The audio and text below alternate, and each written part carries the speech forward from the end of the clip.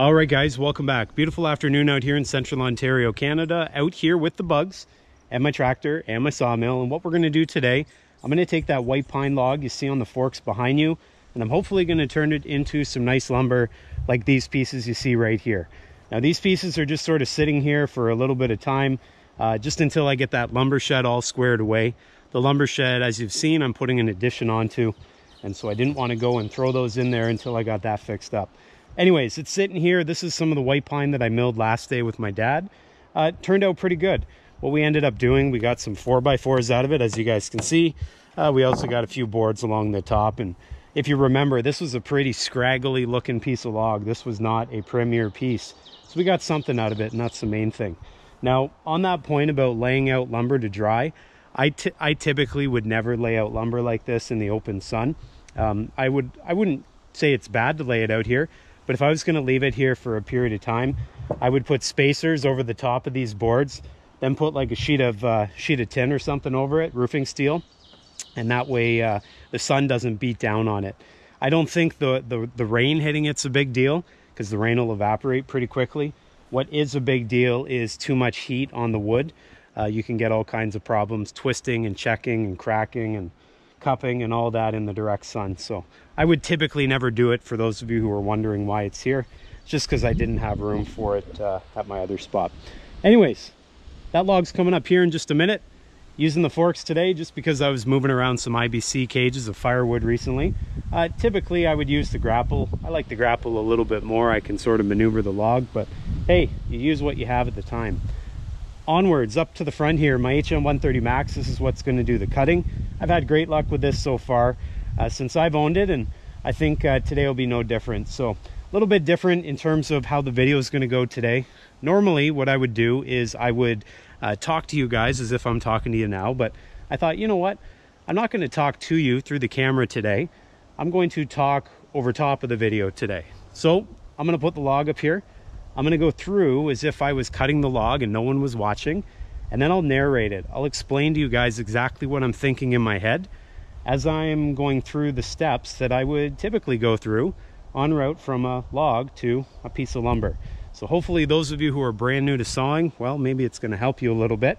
If you're not brand new to sawing, well, you guys can help me down below. Throw down some comments, some things you do a little bit differently.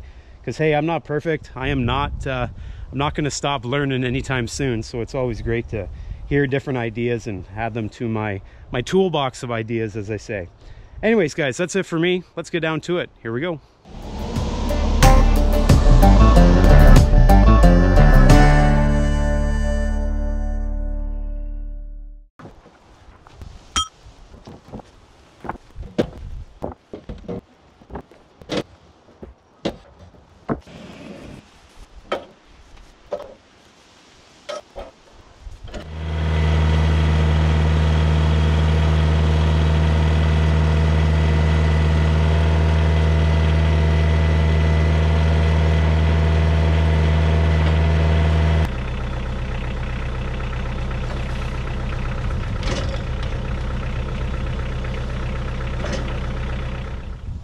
Trying to get the flattest part of the log across the log bunks here. Not very easy because this log is quite crooked.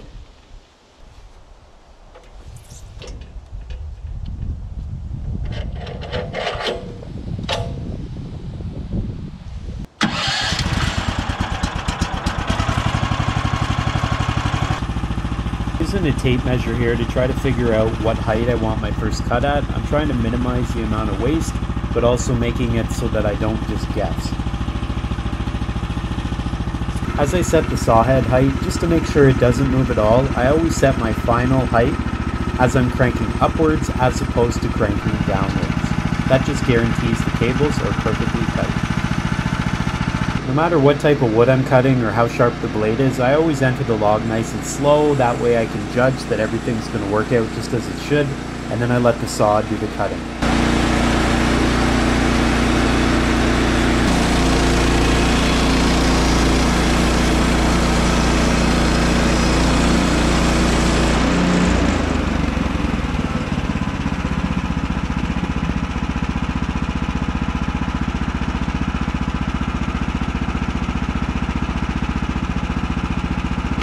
One habit of mine is I'm backdragging or pulling the sawmill back to the starting position is that I always crank up the saw head just a little bit, and in my head that sort of reassures me that I'm not going to bump the blade off.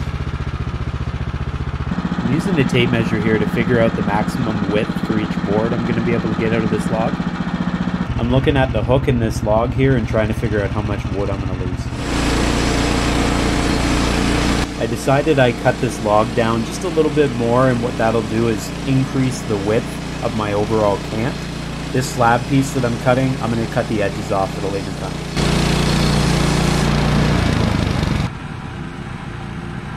When I rotate the log, I like to rotate it 180 degrees. That way I can guarantee that the bottom is going to be parallel to the cut I make on the top.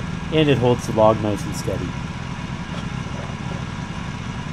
I'm just taking one more quick measurement here to make sure that I can maximize the size of my cant, and then I'll go ahead and make the cut. As you can see, the bugs are pretty fierce these days.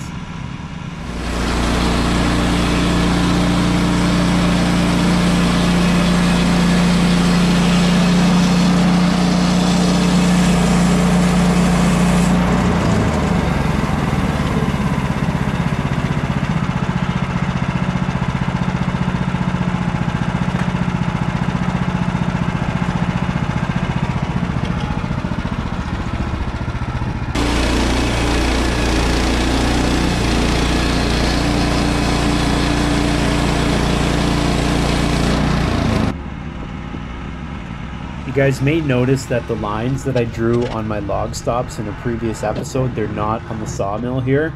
That's just because I filmed this just before that other video. I tried to position this crooked log as flat along the top as possible, that way I can make the cut with as little waste as possible.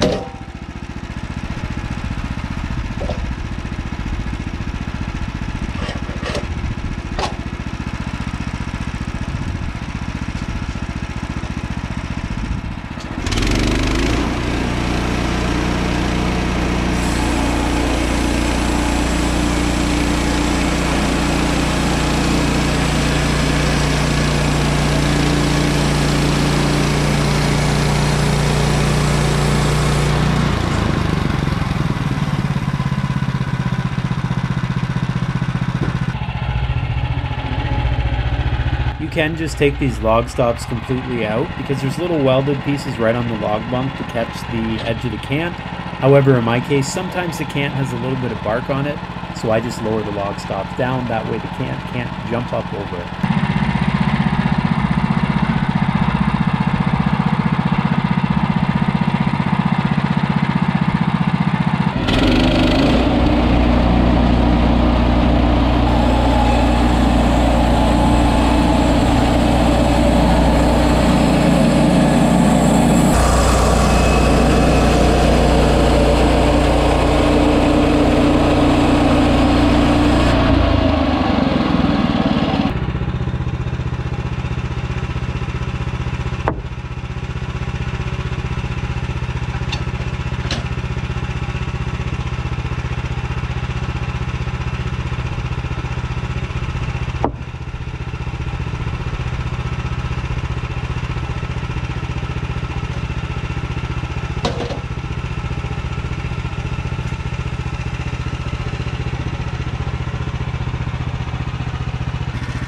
Trying to position this slab piece so that I can get just a little bit of lumber out of it. I'm trying to make it so that the top edge of this slab is as flat or parallel to the log bunks as possible. A little bit easier said than done.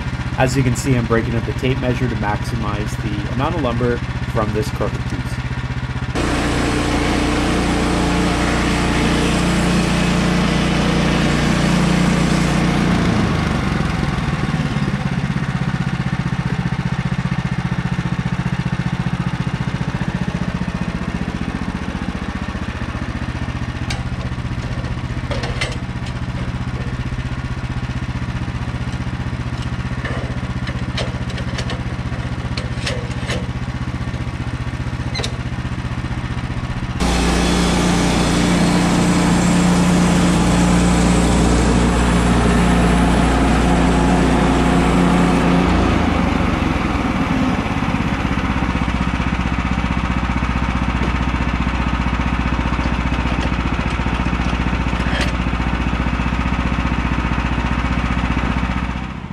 Can also go ahead and put like a 2x4 or 4x4 or some other piece of lumber in between the log stop and this slab piece.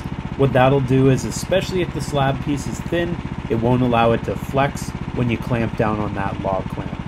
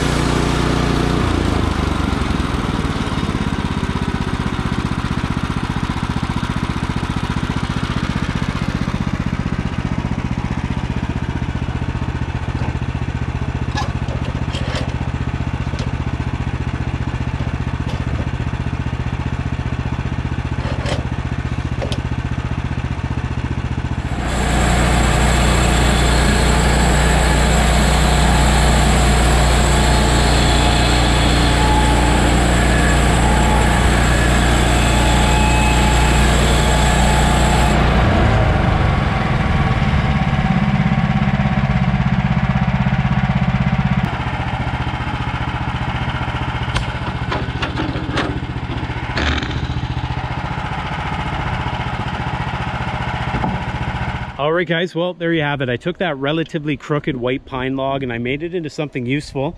And you guys can see the pile right here. Now, I didn't make all of this out of that one piece, but I did make some of the pieces on top. Now, if I had to go to a lumberyard and buy this, I'm sure it wouldn't be free. I don't exactly know how much it would be. But last time I went to Home Depot and just sort of browsed around, a 2x4 by 8 pine spruce or fir was $8 Canadian. I don't know what it is anymore. That was probably about a month and a half ago or so but I can imagine that stuff wouldn't be free. And so making it will save me some money. Let's just not talk about all the equipment that I have to support this sawmill, but let's just say I'm saving money. Now, aside from that, overall, if you're gonna cut a log like I did here, you just really gotta get your sawmill set up so that the blade's tracking nice. Once it's tracking nice, it's just a matter of putting, well, A, a sharp blade on it, be some fuel in it and then make sure there's lubrication. Aside from that everything else just is more or less just uh, muscle memory as we'll say. So hopefully this video helped you guys especially you guys who are out there just starting on that journey of sawing wood. I wouldn't call it rocket science but there's some things to learn. So hopefully this helps you. If uh, you guys wouldn't mind doing me the favor as I mentioned before share some of the things you guys do in order to make sawing just that much easier. Who knows, it might help me, it might help other people. Guys, thanks for watching. Take care. Make sure you subscribe, and I'll see you next time.